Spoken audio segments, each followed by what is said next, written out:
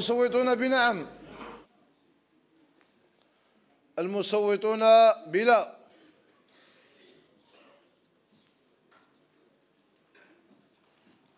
الممتنعون. الممتنعون. أصحاب الوكالات المصوتون بنعم. أصحاب الوكالات المصوتون بلا. أصحاب الوكالات الممتنعون.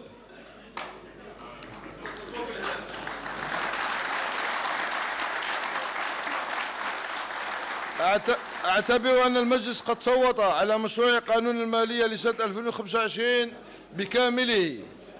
إن المناقشة المتعمقة والمثمرة التي أحطتم بها مضمون مشروع المعروض عليكم.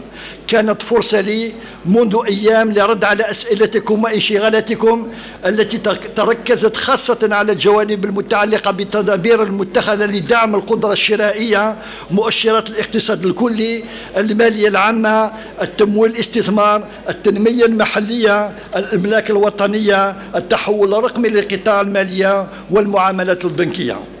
وأؤكد لكم مجددا على أن الحكومة تولي كل الاهتمام اللازم لدراسة كل الملاحظات المعبر عنها من طرف سيدة وسادة نواب والتكفل بها.